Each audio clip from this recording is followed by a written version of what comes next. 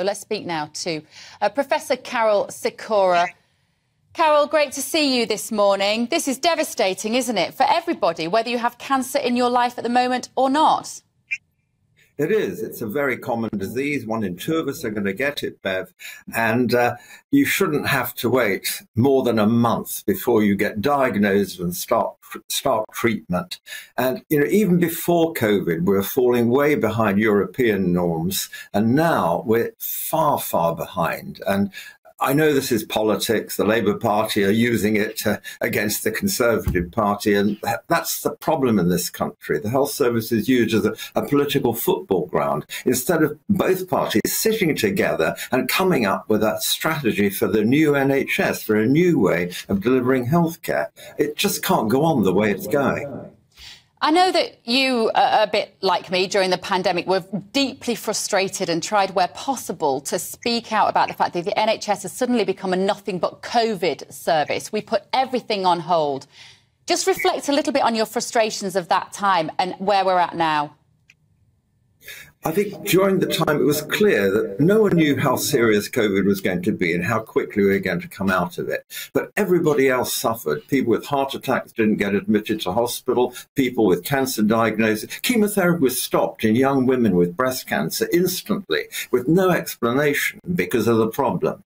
And I think it was an overreaction. We could have coped with COVID and still run the normal cancer services, normal heart services. And that just didn't happen as we've come out of it, it's just not gone quickly enough. We've not sort of, there's been other problems. The industrial action by different professional groups in the health service, the very fact that the health service is so bureaucratic and so behind in, in being a consumer organization. I mean, there's no other consumer organization I know that you'd have to phone up, wait on the phone for an hour, and be told you can't have an appointment to see someone. And this is just unbelievable. Or to wait 12 hours in an emergency room uh, to have to get stitched. I mean, there's no other organization organization that I know of would make you wait. Not even a budget airline would treat you that badly. So I think the importance is, is getting it much more consumer focused and getting things moving again. Karol, if um, the Labour Party were here, they would say this is all about money. The mean-spirited Tory government's not spending enough money. If the Tory party would say, they'll say we're spending records amount of money. You said, you said even before COVID we were slipping back with cancer. Why is it such a problem? Is it money or is it something else? It's the organisation of diagnostic services. So if you have cancer, there's no point phoning 111, NHS 111, the online service. You have to see your GP who has to make a referral. Now, in the year 2000, that's 23 years ago, we came up with a two week wait. And the plan was that if your GP thought you had cancer, you had to be seen within two weeks. And it sort of worked, but it was only meant to be short term till we could build the diagnostic capacity.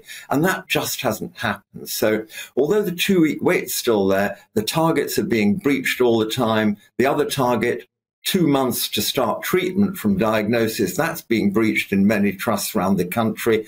Uh, and it's as though we've become a third world service. If you go to France, you go to Germany, it's totally different. Everybody with symptoms that could be cancer gets sorted out within two weeks. Your scans, your biopsies, and so on. It just doesn't happen here. It's too slow.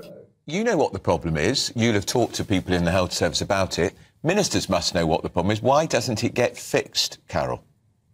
I, I, think the problem is mm-hmm. when you go to NHS England, which is like the control room of the NHS in Elephant and Castle in South London, and it's like a signal box where they've got lots of signals, lots of levers, but they're not connected anywhere. So the hospitals, the trusts around the country have their own management structure, and nothing seems to get through. So all you get from the centre are platitudes. We're spending another billion pounds on diagnostic equipment and so on, but actually the levers are being pulled, but the, the cables have gone missing and someone's eaten the cables. And that's the problem. We had a cancer survivor on earlier that we spoke to about her successful journey, actually, of getting over cancer. And I said to her, now with these wait times, don't we have a two tier system whereby if you have a family member who has cancer, you will sell anything to get the treatment. You're not going to sit there and wait for six to 12 months for treatment or diagnosis, which means inevitably we have a two tier system. If you do have what you think is cancer or is confirmed to be cancer right now, do you get better care privately, or is the NHS still your best option? You know, the, the thing to do is to use private care where you unblock a, a, delay. And the biggest delay is not in treatment, it's actually in the diagnosis. So a delay in getting a scan. If you're told, come back in six months for a scan, that's not good enough you can get one. There are sites which, like, uh, you know, you, you, compare pricing, go compare type sites for scans. You can book one for 300 quid. Now, I'm not recommending that, but there's no doubt identify where the block is, what's holding things up, and try and unblock it. Be persuasive. Don't get aggressive. Don't shout at anybody, but just be persuasive. And I think that will unblock pathways and get you through. Brilliant. Okay, thank you, Karol. Dr. Karol, uh, Professor Karol Sikora there.